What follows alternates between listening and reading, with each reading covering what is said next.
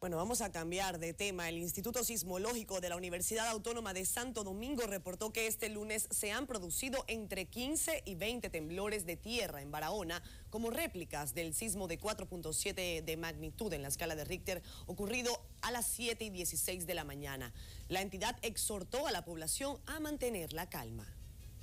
Pero la mayoría han sido eventos de baja magnitud, algunos de menos de 2 grados. Eh, eso de, hablar de sentirlo igual que de Haití es porque ellos no estuvieron en Haití. ¿Cómo la gente siente un temblor?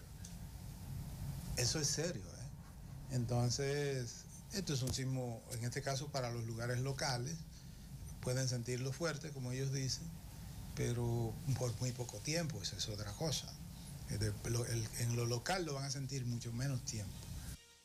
Bueno, el margen de especulación también se produce porque ocurrieron un día después del quinto aniversario del terremoto que precisamente asoló Haití el 12 de enero del año 2010.